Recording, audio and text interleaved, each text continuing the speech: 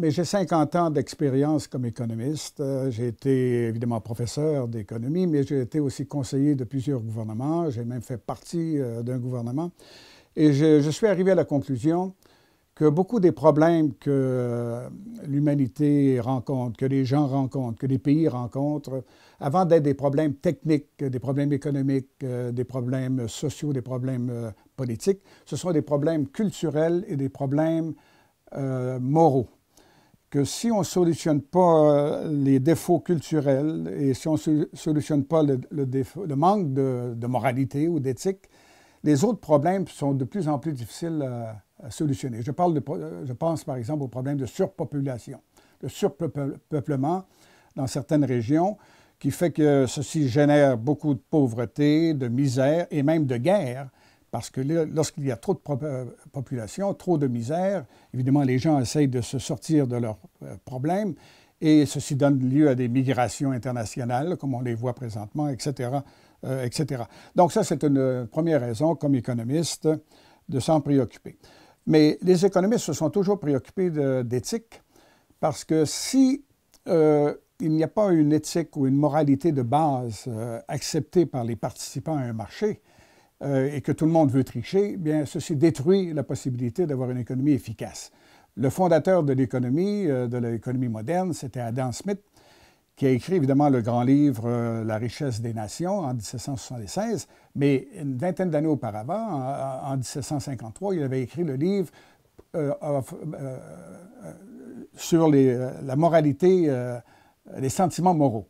En anglais, c'était The Moral Sentiments. Et la même chose, un autre économiste anglais, David Hume, a écrit un livre sur les religions et tout cela. Euh, parce que les religions sont des idéologies euh, qui touchent à la moralité. On va en parler euh, tout à l'heure. Une troisième raison pour un économiste comme moi de se préoccuper d'éthique et de moralité, c'est que depuis le 11 septembre 2001, on a assisté à une montée du sentiment religieux dans certaines parties du monde, du moins. Et ceci, à mon avis, représente un recul de civilisation. Euh, on vit presque dans un montre fou présentement. On voit euh, apparaître euh, des génocides, on, on voit apparaître des guerres de religion, ce qu'on n'avait pas connu depuis 400-500 ans. Donc, il y a toutes sortes de problèmes maintenant qui, qui, encouragent les conflits entre les humains. Et mon livre, comme je vais l'expliquer tout à l'heure, fait le lien entre une que serait une moralité humaniste universelle et par contre à, ce caractère sectaire et ces caractères, ce caractère d'exclusion que certaines religions ont euh, envers les autres. Euh, donc, euh, on peut rentrer maintenant dans les définitions de l'humanisme, étant donné qu'on va parler d'éthique humaniste. La façon la plus simple pour moi de définir l'humanisme, c'est de dire que c'est un système de civilisation une sorte de système culturel, un système euh, de moyens euh, afin de solutionner des problèmes humains. Euh, non, non pas en faisant appel à des divinités ou à des fictions surnaturelles, mais à partir de principes moraux universels qui s'appliquent à tout le monde à travers les, les pays. D'une façon plus formelle, on pourrait dire que l'humanisme est une vision philosophique universelle euh, qui vise euh, à faire respecter la dignité et la valeur de chaque être humain dans le monde, quelle que soit euh, son, origine nationale, son sexe, sa, couleur, etc. donc, ce qui caractérise l'humanisme, c'est son caractère universel, au-delà de, toutes les races et de tous les pays, euh, et qui s'adresse par conséquent à tout le monde. Et comme je le dirai peut-être plus tard, euh, tout le monde peut, devenir humaniste. Il n'y a pas d'exclusion, euh, ni de sexe, ni de couleur. Donc disons aussi que l'humanisme, c'est une vision universelle qui vise à privilégier les droits humains le potentiel euh, de l'humanité et les réalisations humaines. Euh, l'humanisme va mettre l'accent sur l'empathie entre les gens, sur la compassion et sur le partage. Euh, l'humanisme est aussi euh, une philosophie ou une vision, une approche qui met l'accent sur la raison et la science comme moyen de faire avancer les connaissances. Ça ne veut pas dire qu'on néglige les émotions. Euh, parce que l'être humain est à la fois composé de raison et d'émotions. Mais les émotions, il faut les contrôler parce qu'elles peuvent euh, être une source de faiblesse pour les êtres humains. On sait que des phénomènes, de, foule euh, peuvent entraîner toutes sortes de catastrophes. finalement, je dirais, moi, pour simplifier les choses, que l'humanisme est une philosophie pour les gens qui veulent vivre une vie honorable il y avait un philosophe anglais euh, qui s'appelle Emmanuel Kant euh, euh, au 18e siècle qui disait Il n'est peut-être pas nécessaire que je sois moi-même heureux, mais il est très important que je vive une, une vie honorable.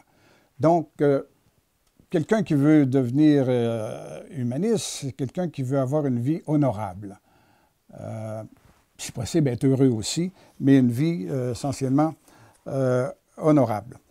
Bien, dans mon livre euh, Le Code pour une éthique globale, j'ai résumé, j'ai essayé de résumer le mieux, le mieux possible euh, les dix, les dix principes euh, principaux de l'humanisme. Évidemment, on peut en rajouter, on peut en, enlever, mais je crois que ces dix principes, si on, y adhère, représentent vraiment la vision humaniste des choses, la vision de l'évolution de l'humanité si elle suivait une civilisation euh, humaniste. Les deux premiers principes sont fondamentaux. On parle ici de proclamer la dignité et la valeur de chaque être humain, quel que soit, comme je l'ai dit tout à l'heure, euh, la race ou le sexe. Euh, l'autre principe, c'est de dire que les humanistes doivent avoir un respect pour la vie humaine. Pourquoi avoir du respect pour la vie humaine? C'est que les êtres humains sont des mortels et par conséquent, la vie est quand même la propriété la plus importante qu'un être humain peut avoir. Si vous perdez la vie, vous perdez tout. Donc, euh, le respect de la vie euh, est important et euh, on doit avoir aussi, si on veut avoir une économie démocratique, avoir aussi un respect pour les propriétés bien, acquises. mais le plus important, c'est le principe du respect de la vie. Après ça, il y a deux euh, autres principes euh, qui sont fondamentaux, qui font appel à des valeurs humanistes fondamentales. Euh, l'empathie entre les êtres humains, le principe de la tolérance et le principe du partage. Sur l'empathie, j'en parle énormément dans le livre, l'empathie, le principe de l'empathie signifie simplement que on, on, doit se placer dans la peau de quelqu'un d'autre pour vraiment comprendre sa façon de penser et ses besoins. Euh, évidemment, il y a la règle d'or de la moralité qu'on retrouve dans toutes les philosophies, euh, depuis le Code d'Hammurabi, euh, il y a 4000 ans, près de 4000 ans. donc, tous ces codes proposent une règle d'or dans le sens ne faites pas aux autres ce que vous ne voudriez pas qu'on vous fasse à vous. Il y a un élément de réciprocité ici. Si je ne vous fais pas de mal, ben, il y a des chances que vous ne me ferez pas de mal. Euh, l'humanisme va un peu plus loin. C'est pour ça que j'appelle ça une règle humaniste euh, suprême qui dit que vous, vous, devriez faire aux autres ce que vous pensez que vous aimeriez qu'on vous fasse à vous si vous étiez dans leurs souliers ou à leur place.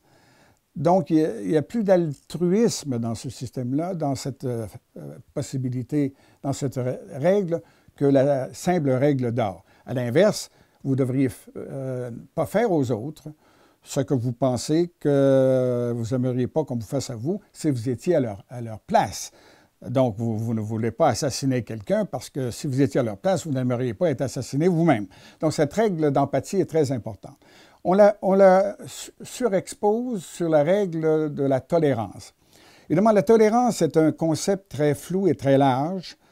Euh, donc, la tolérance pour les êtres humains et les droits des humains, de leur liberté de décider ce qui est bon et mauvais pour eux-mêmes. Parce que les meilleurs juges pour juger de ce qui est bon ou mauvais, pour la plupart des gens, sauf on parle des enfants qui n'ont pas l'âge de raison, c'est de leur, leur, façon de voir leur intérêt personnel. Il faut faire attention par contre. Les, les, êtres humains ont des droits, mais les idées, les idéologies, surtout les idéologies perverses, n'ont pas de droits. Or, souvent, on mélange les deux dans, notre société. On dit bien, euh, les gens ont des droits, mais euh, telle idéologie a tel droit, euh, surtout lorsqu'on est dans des pays où certaines idéologies deviennent des idéologies d'État. sous sous le communisme, il fallait avoir respecté le communisme. Dans certaines régions, dans certains pays, il n'y a qu'une religion d'État. Euh, L'Empire romain en avait adopté avec Constantin en 315.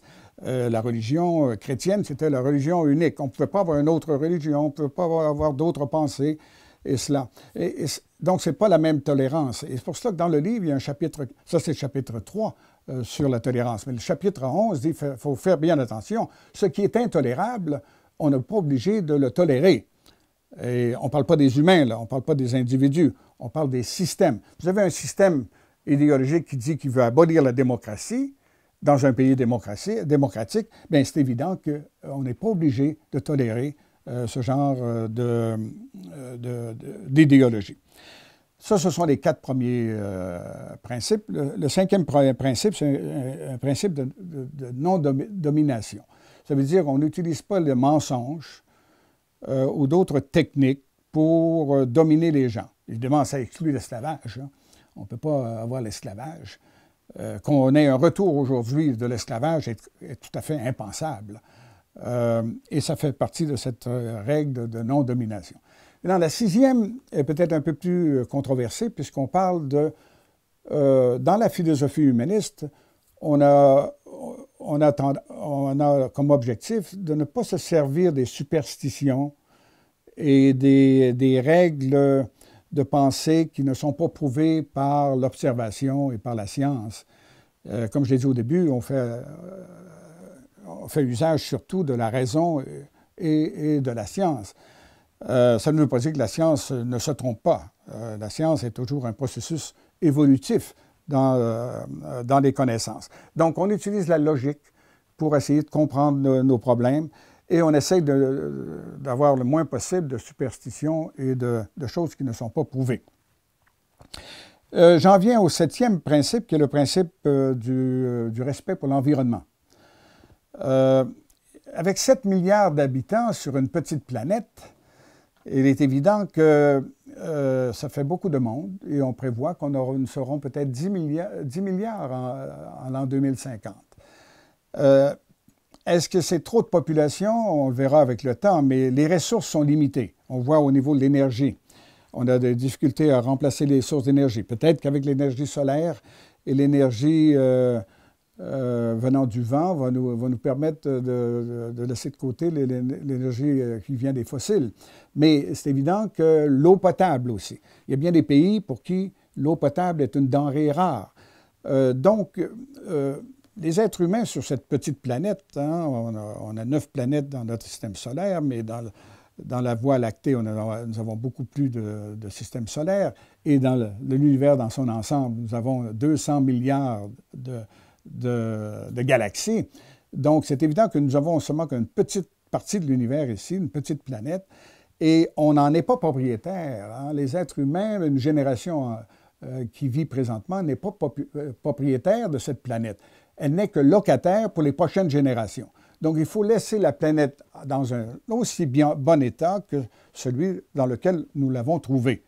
Donc, c'est un principe très simple, mais ça veut dire beaucoup de choses. Il faut, euh, combattre la pollution, il faut respecter les autres espèces animales aussi, parce que les êtres humains, comme je vais en parler tout à l'heure avec les découvertes qui, se sont produites depuis 300, 300 ans, montrent qu'ils sont très près de nous. Euh, euh, et donc, nous devons les respecter. Donc, le, huitième principe euh, a trait aux guerres. c'est quand même incroyable qu'au 21e siècle, nous sommes encore confrontés avec des guerres. Parce que les guerres sont ce qui est à peu près de plus inhumain dans toute l'invention humaine. Elles ne font que détruire, elles ne construisent pas, elles amènent la misère, et évidemment euh, les morts. Et on sait le 20e siècle a été le siècle le plus meurtrier. On a utilisé même l'arme nucléaire pour tuer des, civils au Japon, 150 000 euh, au mois d'août 1945, 150 000 euh, civils ont été tués par l'arme nucléaire. La Première Guerre mondiale euh, nous a coûté des millions et des 20 millions de morts. La Deuxième, 50 millions de morts. S'il y avait une Troisième Guerre mondiale au 21e siècle, ça serait combien de morts? 100 millions, 200 millions, 500 millions. Donc les guerres sont absolument inhumaines. On pensait en 1945, avec l'invention, la création des Nations Unies, dont le premier principe, c'est qu'il ne doit pas y avoir de guerre d'agression. Seules des guerres défensives, qu'on espère ne se produiront jamais, et sans une autorisation formelle des Nations Unies.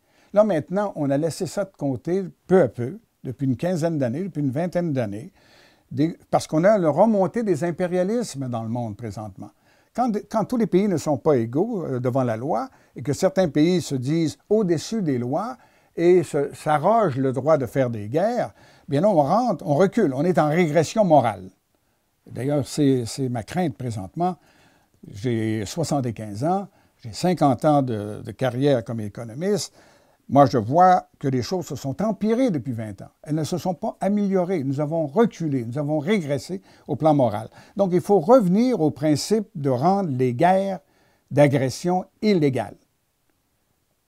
Malheureusement, lorsqu'on a créé la, Cour euh, pénale internationale, il y a une, quinzaine d'années, euh, l'administration euh, Clinton avait accepté d'y souscrire. Mais lorsque l'administration de George W. Bush est venue au pouvoir, il a retiré l'acceptation des États-Unis à cette Cour. Donc, il y a certains pays très importants dans le monde, très armés dans le monde, comme les États-Unis, qui ne font pas partie de la Cour pénale internationale. Donc, ça veut dire que leurs leaders peuvent être au-dessus des lois, peuvent commettre des crimes, mais sans être euh, appelés à, payer pour ces crimes. Euh, et ça, c'est inacceptable. Parce que dans la philosophie humaniste, tous les êtres humains sont égaux. Donc, il n'y en a pas, qu'ils soient privés ou publics. Ce n'est pas parce que vous êtes un roi ou un président ou un premier ministre que vous êtes au-dessus des lois. Sans cela, on vit dans la jungle, on retourne en arrière à l'âge de pierre, à l'âge de bronze. Et finalement, euh, les deux autres euh, principes euh, sont des principes d'institution. Et c'est le, neuvième, c'est le principe démocratique. Évidemment, la démocratie n'existe pas depuis très longtemps. Évidemment, elle a existé un peu en Grèce antique quand les citoyens d'Athènes pouvaient voter, etc. Mais les femmes ne pouvaient pas voter à l'époque. Et il y a 200 ans, on a commencé à avoir une vraie démocratie. Ça a commencé lentement avec la Révolution française, la Révolution, américaine.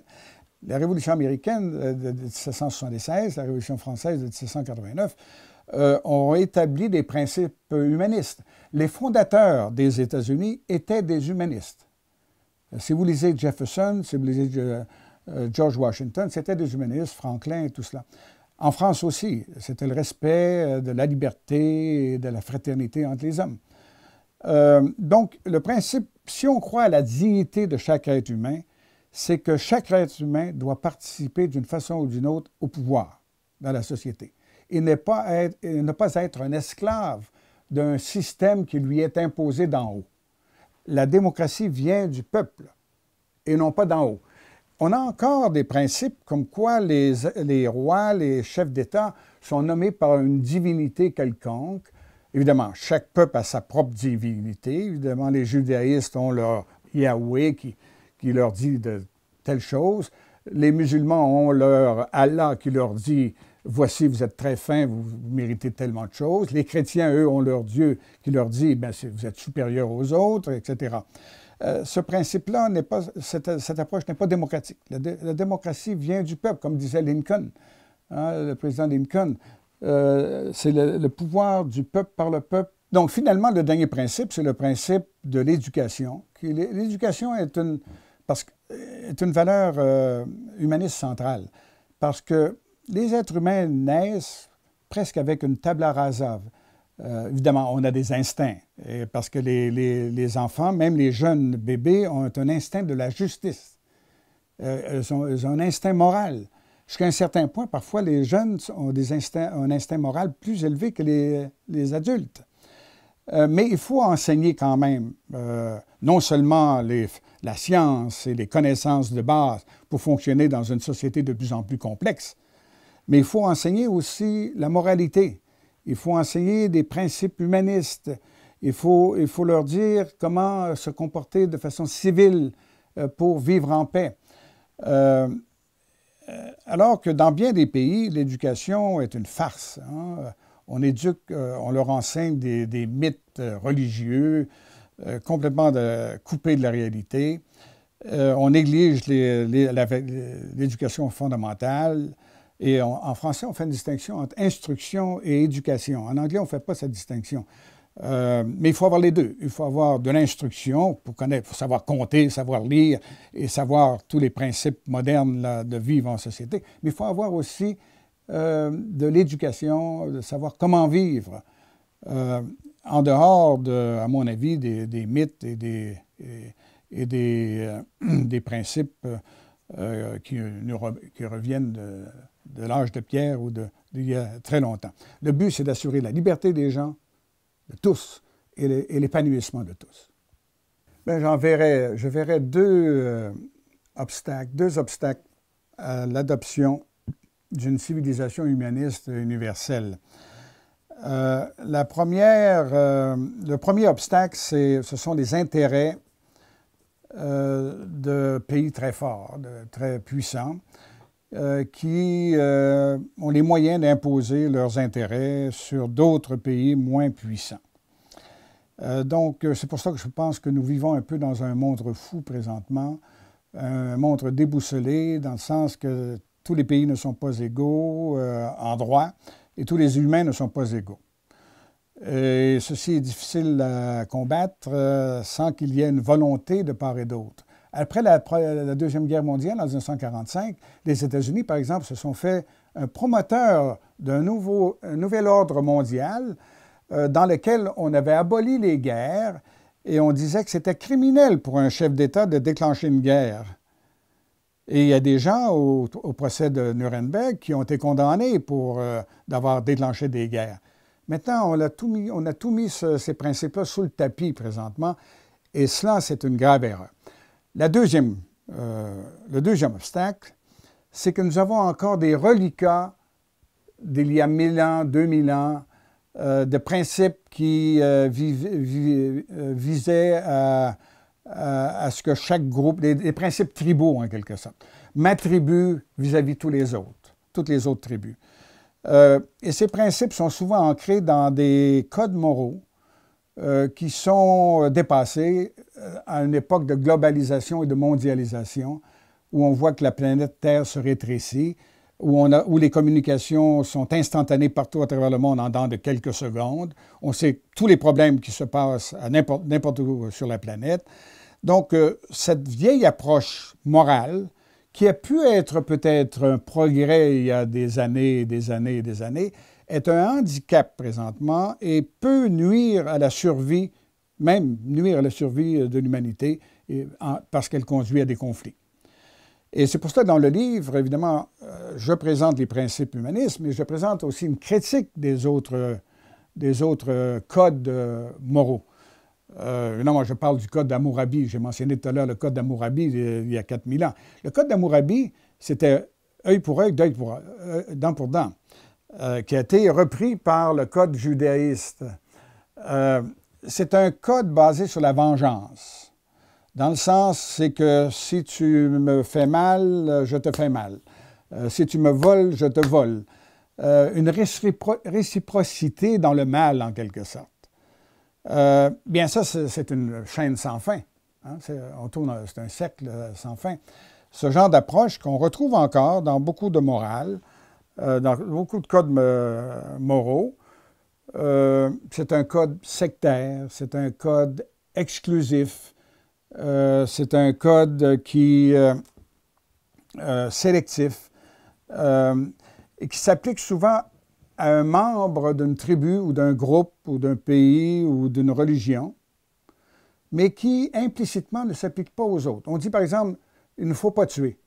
Mais implicitement, on dit, vous ne pouvez pas tuer les membres de votre religion. Mais les autres, les mécréants, les païens, les païens, ceux qui ne croient pas et tout ça, bien ça, vous pouvez les tuer, il n'y a pas de problème. Donc, c'est sélectif, c'est une morale sélective.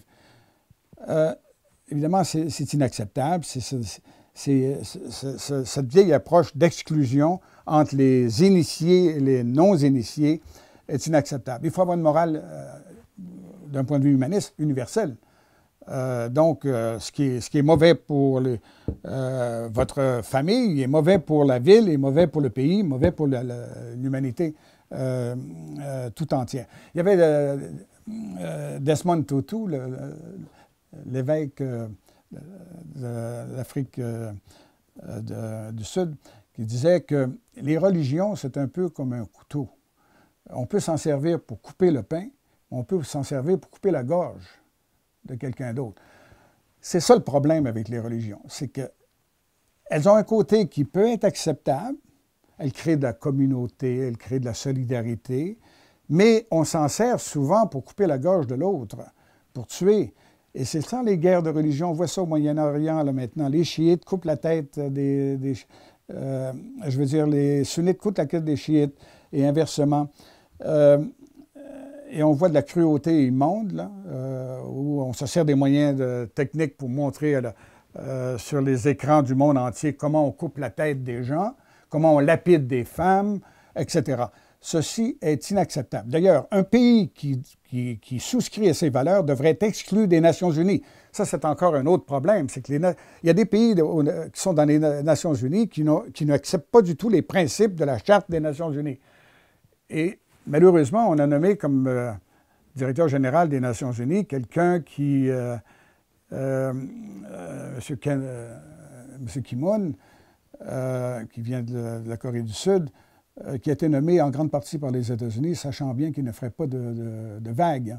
Mais on aurait besoin d'un secrétaire général présentement qui parle au monde et, qui dise les, vraies choses. Lorsqu'il y a des génocides, des meurtres, et des guerres illégales, ça devrait être dit. Ça devrait être dit. Et ce, n'est pas dit. Donc, c'est une première critique euh, des anciens codes. Euh, on ne peut pas tous les passer, mais il n'y en a pas qui, à mon avis, qui viennent à la hauteur du code humaniste euh, universelle. Une deuxième critique que je fais dans le livre des autres codes, des anciens codes moraux, surtout qui nous viennent, ceux qui nous viennent des religions politisées, c'est le fait qu'on place l'être humain au centre de l'univers. Et on lui donne toutes sortes de prérogatives et ceci conduit à une vue égocentrique et anthropomorphique de l'univers. Or, on sait maintenant que ce n'est pas vrai, que la Terre n'est pas le centre de l'univers et par conséquent l'être humain n'est pas le centre de, l'univers. Donc, or, on sait depuis 1632, euh, depuis les découvertes de Galilée, que ce n'est pas le Soleil qui tourne autour de la Terre, même si on observe euh, ce phénomène, si on ne connaît pas mieux, c'est plutôt la Terre et les, planètes qui tournent autour du Soleil. C'est le Soleil qui est le centre du système euh, solaire. Donc, ce n'est pas vrai que la Terre est au centre de l'univers et c'est une découverte euh, fantastique. Auparavant, les êtres humains croyaient qu'ils étaient au centre de l'univers. Ce n'est pas vrai au moins depuis 400 ans. Et il y, a, deux autres découvertes très importantes. Euh, la découverte par euh, Charles Darwin en 1859, qui a montré que l'être humain est le résultat, comme toutes les autres espèces vivantes, d'une longue évolution pendant des millions et des millions d'années, et que cette évolution continue d'ailleurs, et que nous n'avons pas été créés tels quels, comme les êtres humains, les vaches, les, chiens, les loups et tout cela, mais c'est une progression euh, fantastique euh, au cours de millions d'années. Euh, donc, ce n'est pas vrai que l'être humain est particulier. Et ce qui est plus dévastateur dans cela, ce serait la découverte qui a été faite en, 1953 euh, par Watson et Crick, quand on a découvert l'ADN, cet acide nucléique dans chacune des cellules du corps humain, avec les 46 chromosomes, qui nous donne toutes les caractéristiques d'un être humain. Et on s'est rendu compte que 96 à 99% de l'ADN d'un chimpanzé était identique à ceux d'un être humain. Fantastique euh, d'arriver à cette conclusion-là. Que nous sommes en parallèle, nous sommes en évolution en parallèle avec des autres humains, euh, des autres espèces. Donc ça veut dire qu'il faut respecter les autres espèces là. Euh, l'être humain n'est pas le seul ici maître. L'être humain n'est pas un dieu sur cette planète.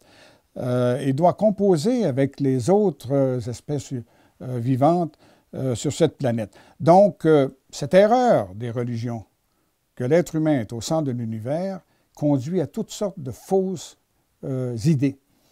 Euh, et si on tient compte des progrès de la science, il faut s'en libérer. Troisième critique euh, que, beaucoup de religions ont fait, surtout les religions abrahamiques, les, religions théistes, théistes c'est de s'associer au pouvoir politique. Euh, pendant 300 ans, le christianisme était une religion euh, de contestation. Mais en 315, euh, l'empereur Constantin a fait la paix avec le christianisme et en a fait la religion officielle. Ça s'est fait avec quelques autres empereurs. Mais à ce moment-là, là, il y a eu cette alliance entre les dirigeants religieux et les dirigeants politiques. chacun s'aidant les uns des autres. Les, les religieux disaient au peuple, ben, il a été nommé par des dieux, l'empereur, donc il ne faut pas le contester. Ou le roi a été nommé par des dieux. Et même encore aujourd'hui, hein, euh, la reine Élisabeth en Grande-Bretagne se prétend euh, l'intermédiaire entre l'Église anglicane et Dieu. Et, pire encore, dans le cas du Canada, Pierre Elliott Trudeau a mis dans la Constitution de 1982 que le pouvoir politique en démocratie venait de Dieu. Incroyable. Hein? Incroyable que ceci se soit fait il y a seulement quelques dizaines, euh, dizaines d'années. Donc, on a fait une distinction entre la moralité privée, donc les individus ne doivent pas tuer, ne doivent pas voler, mais un chef d'État, parce qu'il, lui, ne répond qu'à Dieu, il peut tuer, il peut voler, il peut envahir des pays, il peut lancer des guerres, une bombe atomique sur une ville et tuer 100 000 personnes. Pour lui, ce n'est pas un crime, ce n'est qu'une raison d'État cette moralité double entre la moralité privée et la moralité publique est refusée par la moralité, l'éthique euh, humaniste. C'est une grave erreur qui conduit à toutes sortes de crimes, euh, effectivement. Donc ça, c'est la troisième critique. Quatrième critique, c'est le mythe de la vie, de la vie éternelle. Beaucoup de religions euh, officielles s'en prévalent encore, quoique elles ont tendance à s'éloigner. Par exemple, l'Église catholique a, déclaré il y a quelques années, du moins un comité, mais ça n'a pas été officialisé, que les limbes euh, n'existaient pas. Les limbes, c'est un endroit où les bébés non baptisés devaient pourrir pendant l'éternité. Ce qui est tout à fait injuste. Pourquoi punir des, bébés qui n'ont pas, qui pas été baptisés? C'est cruel, c'est complètement idiot. Euh, donc, il y avait des papes qui avaient dit que c'était ça, avec leur infaillibilité. Euh, donc, l'Église catholique met ça sourdine. Euh, L'Église anglicane, en Grande-Bretagne aussi a mis une autre invention fictive, l'enfer. Où là, tous ceux qui ne sont pas dans une, religion bien structurée allaient brûler pendant l'éternité. Encore une idée complètement stupide encore euh, inhumaine, parce qu'on condamne les deux tiers de l'humanité. Hein. Euh, les gens en Asie, euh, les bouddhistes ne sont pas des, gens qui croient aux principes chrétiens ou aux principes musulmans ou autres. donc l'Église anglicane a dit, ben, l'enfer, là, on n'est pas certain du tout si ça existe ou pas. Là. On se servait de ça pour faire peur au monde, mais dans le fond, après ça, on va au paradis. Là, il y a un paradis encore éternel où les gens vont s'ennuyer pendant toute éternité. Bien, toutes ces inventions-là, ça paraît anodine, mais elles, conduisent à, la haine des autres. Euh, parce qu'on dit, ben, si vous ne faites pas telle chose, vous, vous êtes mauvais, vous allez aller en enfer. Et euh, donc, c'est la haine, l'exclusion, ce n'est pas universel. Ce n'est pas universel. Et euh, espérons que les religions vont s'adapter euh, à, une, meilleure morale. D'ailleurs, les religions devraient toutes adopter la morale humaniste universelle et nous dire pourquoi ils ne le font pas. Donc, une cinquième critique des codes moraux qui nous viennent des religions euh, euh, politisées euh, vient du fait qu'elles font une distinction totalement arbitraire, qui est complètement liée par les découvertes scientifiques, entre le corps humain et l'esprit humain. Or, les découvertes sur le cerveau nous montrent que c'est le cerveau qui contrôle tout le corps, le reste du corps humain. Remarquez bien qu'il y a, avant, il y a 300 à 400 ans, on croyait que c'était le cœur qui contrôlait l'être humain, euh, le corps, et que le cerveau n'était qu'une sorte de radiateur pour refroidir le sang. Donc, c'était complètement non scientifique, mais on ne connaissait pas mieux. Mais là, on continue encore avec cette idée complètement non scientifique qu'il y a une distinction entre le corps humain et l'esprit humain. Et on sait que le signe scientifique de la mortalité d'un être humain, c'est lorsque son cerveau, l'électricité dans le cerveau, cesse de fonctionner. Ça, c'est la définition de la mort. Or, les religions disent, ben non, euh, le corps va mourir, le cerveau va mourir, mais là, il y a un esprit là, éthérique qui, va continuer à voler dans les nuages un peu partout, etc. Donc, euh, cette grave erreur euh, est importante parce qu'elle alimente une vision néfaste et négative envers le corps humain. tout ce qui est corps humain n'est pas bon. Et c'est pour cela que pendant des siècles aussi, euh, on avait une discrimination contre les femmes. On disait que les femmes étaient impures, euh, qu'après une naissance, par exemple, elles ne pouvaient pas aller à l'église, euh, etc. Lorsqu'elles avaient des règles, il ne fallait pas aussi qu'elles viennent à l'église. Elles étaient impures parce qu'on méprisait le corps humain. Il ne s'agit pas d'en faire un Dieu, le corps humain.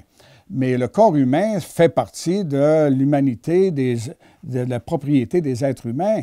Et donc, on ne peut pas avoir une attitude négative a priori pour le corps humain. Donc, ce sont des critiques assez fondamentales hein, quand même. Hein. Ce ne sont pas des petites critiques, là, parce que c'est tous les fondements même de leur système moraux qu'on enlève là. J'ai enlevé cinq pattes. Mais là, tout s'effondre après que vous enlevez ces cinq pattes-là de leur système. Ça ne tient pas. Donc, je lance un défi à tous les moralistes euh, religieux de me dire pourquoi ils n'acceptent pas la moralité humaniste universelle et pourquoi ils tiennent encore à ces cinq euh, principes complètement anti-scientifiques? Euh, donc, c'est une question euh, fondamentale que je pose dans le livre et que chacun doit décider pour soi-même, mais je crois que la raison, le bon sens montrent que ces vieilles idées-là ne tiennent plus.